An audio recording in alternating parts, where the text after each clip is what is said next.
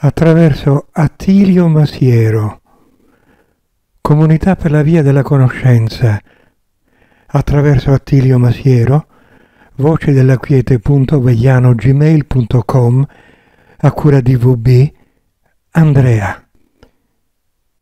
Proviamo perciò a partire da quello che voi oggi ve ne fate della vita. Normalmente, oltre che utilizzare la vita per evolvere, per diventare più consapevoli, per acquisire nuovi concetti, o magari per spogliarvi di quelli vecchi, voi cercate di renderla vostra e quando non ci riuscite siete del tutto insoddisfatti perché ve la sentite sfuggire continuamente dalle mani, mentre voi pretendete di rinchiuderla nel vostro pugno.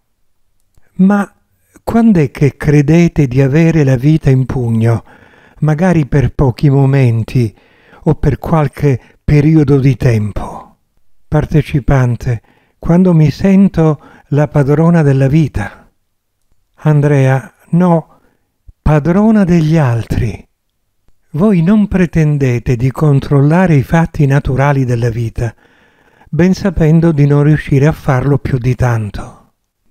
Però pensate di poterlo fare con gli altri e perciò vi sentite la vita in pugno quando pensate di poter avere in pugno gli altri, e cioè quando pensate di soddisfare le vostre pretese o quando pensate che tutto sommato padroneggiate non gli avvenimenti naturali, ma gli altri.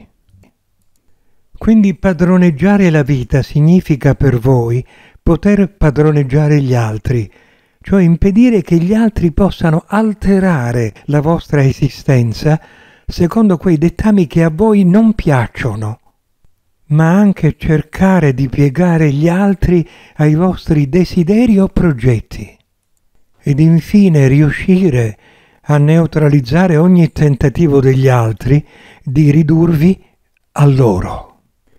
Quando qualcuno vi pesta i piedi nel tentativo di ridurvi a lui e quindi di piegarvi ai propri bisogni, se capite di non potervi sottrarre allora mettete in atto una controreazione che afferma la vostra irriducibilità.